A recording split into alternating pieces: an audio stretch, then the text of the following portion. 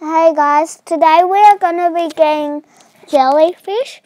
Now, it might be kind of easy for you when you get it, but it would be hard for some people. And it's also kind of invisible, so can kind of see it, kind of not. It's like pink invisible with a little bit of blue and white. And bye guys and don't forget to like and subscribe.